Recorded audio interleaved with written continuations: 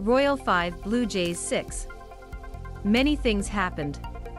Royals manager Mike Matheny was issued in the sixth inning.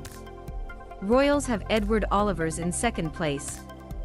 After a swinging strike, Danny Jansen threw it into second place, trying to get Olivares, who roam a little from the plate.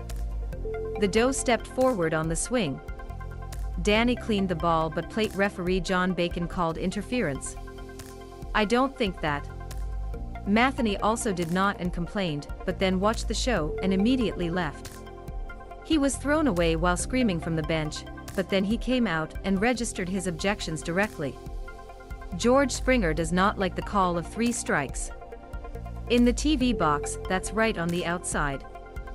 George threw his bat and was quoted as saying for it and then angry. But John Schneider came out quickly, and Vladimir Guerrero and Devon White got between Springer and referees, making him stay in the game. George Zimmer pinch ran for Alejandro Kirk after the single-out single in 7th and was quickly taken. But important things occur in 10th. At the peak of inning with Manfred Mann in second and two, Jordan Romano gave a home run to Vinnie Pasquantino, and we thought it made us need a game. At the bottom of the inning, with Springer in second place, Vlad, on a count of 2 to 1, got a ball from a plate called a strike.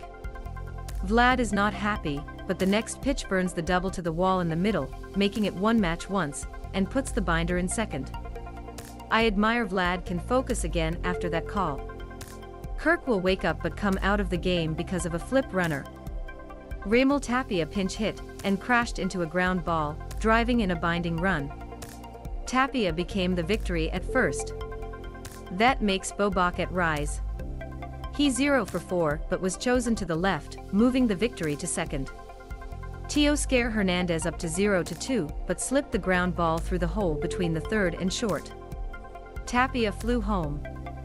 It's nice to watch it running the base.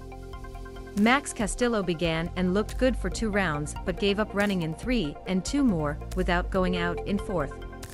Total 3.0 inning, 5 hit, without road, and 1 strikeout. He got another start.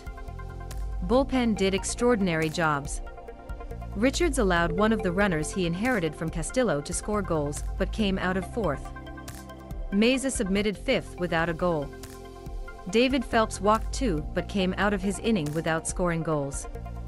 Adam Cimber surrendered,